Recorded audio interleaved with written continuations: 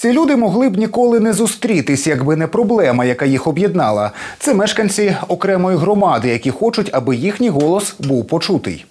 Зазвичай вони списуються у соцмережах та домовляються про спільні дії.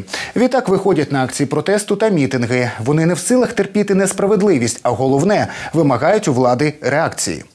Розпочну із Маріуполя. Там люди вийшли на мітинг через поліцейських, які працюють на блокпості у напрямку селища Мелекіно.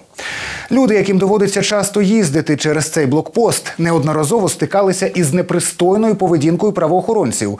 Про це місцевому виданню розповів капелан та волонтер Альберт Хом'як, який і організував акцію протесту.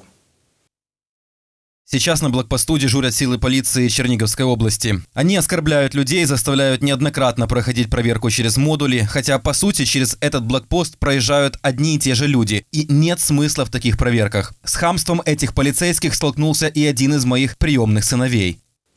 За словами капелана, правоохоронці назвали його прийомного сина інваліда другої групи дурником.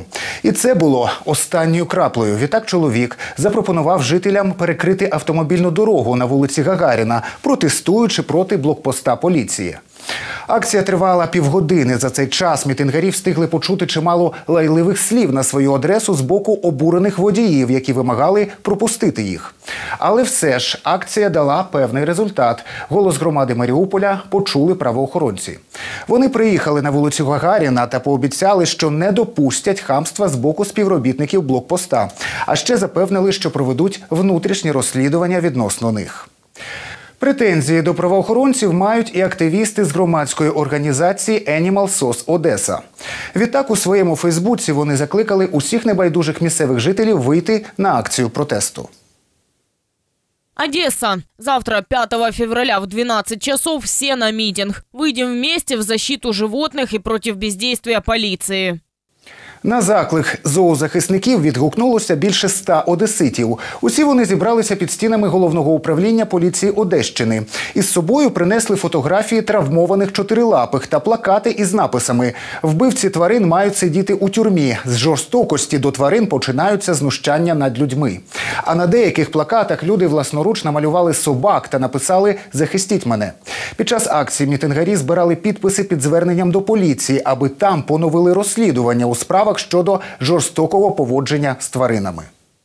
Є закон, есть статья 299, но эта статья, по сути, не работает, потому что она тормозится, эти дела не доходят до суда, потому что нет заявлений, люди устают вызывать полицию, каждый раз повторяется одно и то же. Для того, чтобы принять заявление, волонтеры должны, общественники, выезжать на место, требовать, чтобы полиция это заявление приняла, иногда бежать за этим э, патрулем, за полицией, э, требовать, чтобы тела забрали на экспертизу, чтобы проводились какие-то следственные действия.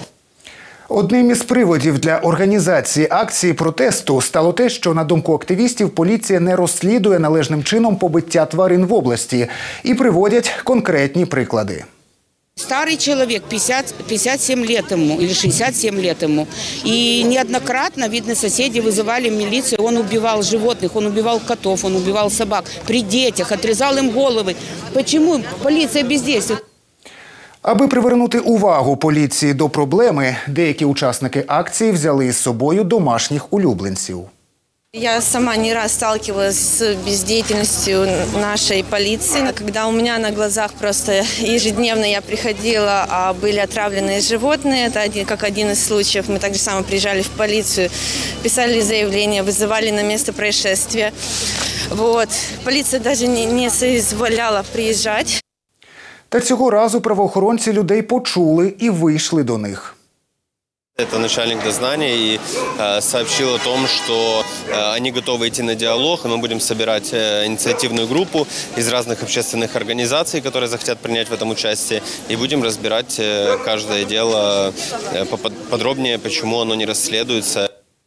Лишається сподіватися, що голос громади Одеси поліція почує не лише на словах і таки почне ретельно розслідувати справи щодо жорстокого поводження з тваринами та покарає винних. І наостанок розповім про ще одну форму протесту, до якої вдалися харків'яни. Поки що вони вирішили не виходити на пікети, а домовитись із міською владою онлайн. Відтак на сайті мерії зареєстрували петицію з проханням встановити світлофор на перехресті вулиці Бібліка та індустріального проспекту.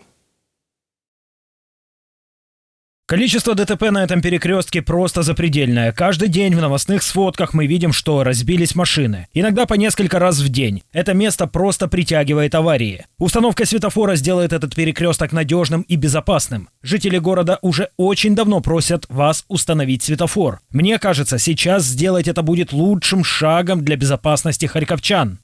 Сподіваюся, що петиція набере необхідну кількість голосів, а саме 5 тисяч, аби міська влада її розглянула.